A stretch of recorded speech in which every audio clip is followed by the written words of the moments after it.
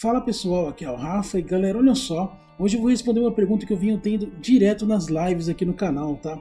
Só que é super rápido, por isso que eu não tinha feito esse vídeo. Vamos lá, vamos direto ao ponto.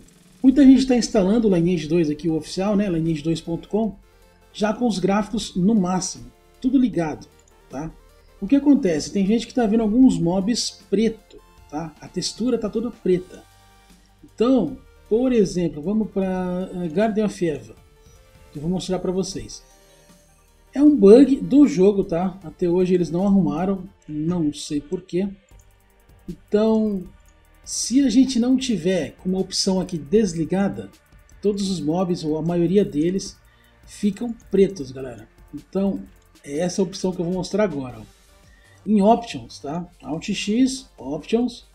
Você vai clicar aqui em Vídeo, aí vai ter esse maisinho aqui, ó, Show Detailed Settings clica nele. Embaixo aqui vai ter a opção Advanced Shader Effects. Eu vou selecionar isso aqui só para vocês verem. Tá? Olha o que aconteceu com os mobs. Algum bug, né? Que eu não sei explicar qual exatamente. Tá deixando os mobs com as texturas todas pretas, ó. Tá vendo? Então, para não ter esse problema, é só clicar aqui e desativar o Advanced Shader Effects. Tá? Clicou, aplicou, os mobs aparecem normalmente. Beleza? É só isso, galera. Eu resolvi fazer esse vídeo porque toda live me pergunta. Eu falei, deixa eu fazer um vídeo, vai. Porque pode ser que tenha muita gente ainda com essa dúvida e tentando descobrir por que os mobs estão ficando pretos. Beleza? A textura, no caso, dos mobs. Certo? Galera, é só isso. Mais uma vez, Options, Vídeo, aumenta aqui essa telinha, Show Detail Settings, procura Advanced Shader. Ó, olha os mobs ali, ó.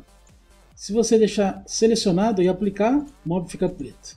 Se você desativar, o mob volta ao normal. Só isso, beleza?